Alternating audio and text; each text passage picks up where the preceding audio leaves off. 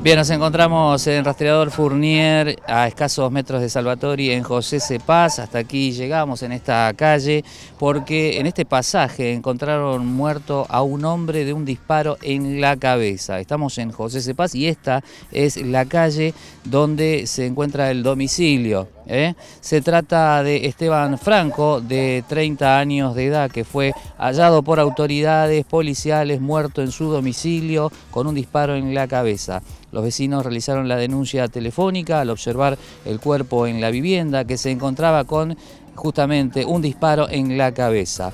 Allí los uniformados encontraron a Franco sin vida y luego la causa fue caratulada como homicidio. Aún se desconoce el autor material del hecho, la policía investiga y este es el barrio, el lugar del hecho. ¿eh? En este caso, a tan solo 100 metros de la calle Salvatori, por Rastreador Fournier, se encuentra este pasaje de 200 metros donde está ubicada la vivienda, donde fue encontrado sin vida y con un disparo en la cabeza esta persona de quien hablamos recién de tan solo 30 años de edad.